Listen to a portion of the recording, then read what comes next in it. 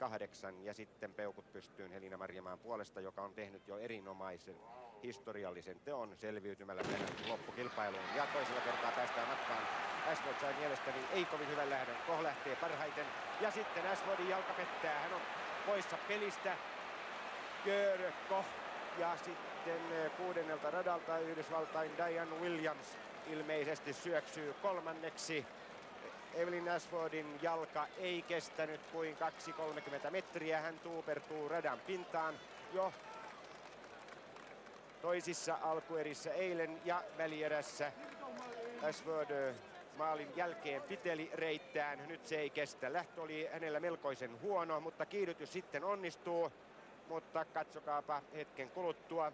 Juuri siinä jalka pettää ja hän on poissa pelistä.